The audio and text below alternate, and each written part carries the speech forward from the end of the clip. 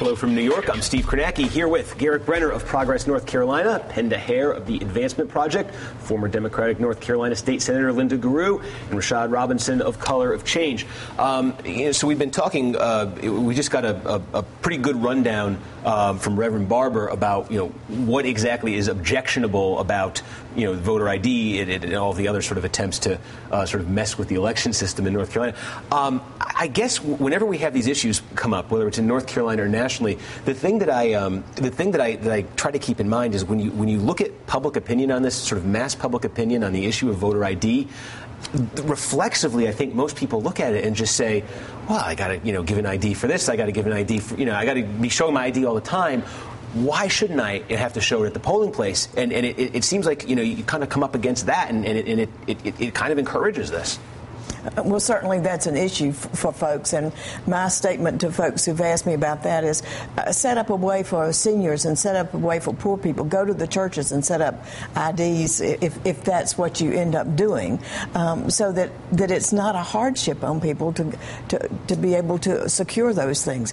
But the, the, the issue with an ID is the we have a right to vote. That's our constitutional right. right. But, but the, and the ID issue is really um, it's a it's a solution in search of a problem. Absolutely. We actually don't have a problem in this country with in-person voter fraud. You're actually more likely to see Bigfoot, and maybe we might see the state legislature down in North Carolina talking about Bigfoot next, looking at some of the other legislation. Absolutely. But it's not really a problem in this country. What we have a problem with is long lines. We have a problem with some communities having good voting systems and good good machines machines and others not. We have a, a structural problem in our system that is not about IDs, and IDs are not going to solve them, especially narrowly tailoring what type of IDs, where you can use a gun license right. in some places right. and not a student right. ID. So yeah. there's, there's, a, there's a stat here. Just, there's, there's an amazing stat. There, somebody said there were 18 million ballots cast in North Carolina from 2000 to 2011, and of those 18 million, there were 22 cases of fraud. Well, Steve, the, the right wing is funding groups with names like the Voter Integrity Project. They're going into legislative hearings on voter ID. They're having people come up to the microphone and accuse people, naming voters by name and what county they're from, accusing them of voter fraud. Uh, but then when you go back and actually talk to the voters, you find out that, wait, they actually voted legally. Two days after this legislative hearing, the same group, Voter Integrity Project, put up a web- website statement Friday on a 4:55 on a Friday afternoon saying they made mistakes. Uh, they're promising an audit. They're promising a report. Here we are weeks later, no audit, no report, but we have voter ID past the state house. Well, and so, so I, I mentioned the, the, when you when you you know sort of poll mass opinion on this again, it's it's reflexively. Well, sure, you know we need. I, I've kind of wondered watching this play out over the last few years if the response from the left you know, sort of practically speaking, I, I, you know, I can understand statistically it's not a problem, but practically speaking, is, is, the response wrong? And should the response maybe be more, you know, let's let's have some sort of ID, but let's put the burden entirely on the state to provide the ID to individuals. So right now, all these ID laws, um, they put the burden on the individual. Is there a way maybe to have some sort of state issued ID where the burden's entirely on the state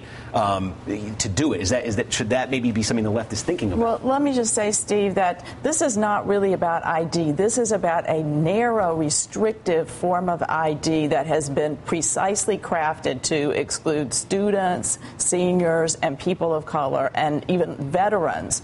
And um, approximately 600,000 people in North Carolina don't have it. So even though many people can say, yes, I have to show an ID for this or that, it's a, it's a right to vote. And um, so we believe that, um, that the system is, is working just fine the way that it is. And when mm-hmm. people find out, like there was a recent League of Women Voters poll in North Carolina that asked voters if you knew that this was being done to manipulate the system so that the same politicians could stay in office, then they're opposed to it. If you knew that there was no problem with voter fraud and that this was just to stop voting, would you be opposed to it? And they're opposed to it. And so it, it, if you, it depends on how you ask the question and what information you provide. And when people find out what's really going on, they are not in favor of this form of narrow ID. Yeah. Steve, people are fixated right now on voter ID because it is the issue that the right has been pounding in North Carolina for the last two years. The previous governor vetoed the, the voter ID bill.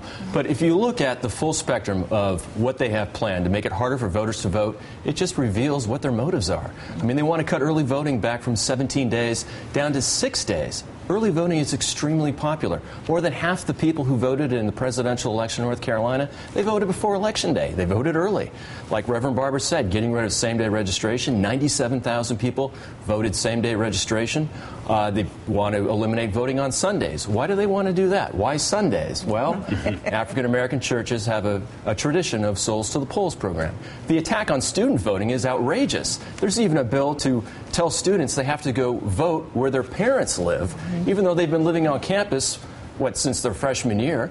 Uh, they can't get around that legally. So what they do is they try to impose a poll tax on the parents, saying that the parents can't claim the student as a dependent on their tax returns, costing the parents 2,500 bucks that's a poll tax. You, you know, and, and, go and, ahead. You know, and this is, and for us who are who are working nationally, it's so important. And for people all around the country who are saying, "I don't live in North Carolina. Why should I care about this?"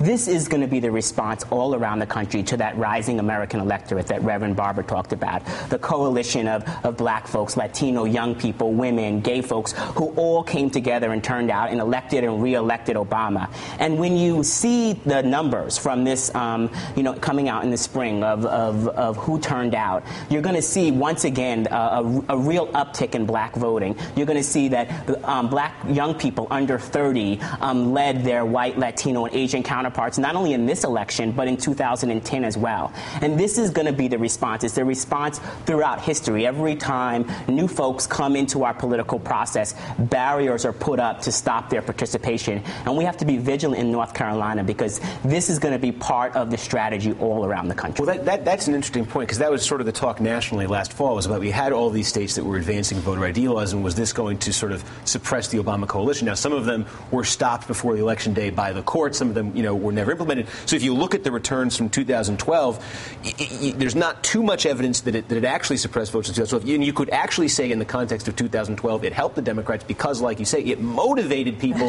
in a way they wouldn't mo- be motivated before. But I, I, I guess the test is going to come in a state like Pennsylvania when these things actually go into effect in North Carolina, if this goes into effect, um, it, it, raises all sorts of other issues. But there are, as we say, voter ID is just one of a number of issues uh, where there's sort of a Tea Partyization of North Carolina going on. Um, I want to talk about uh, you know, how Democrats are responding to that and if there are lessons from North Carolina that can sort of be applied nationally, and that's after this.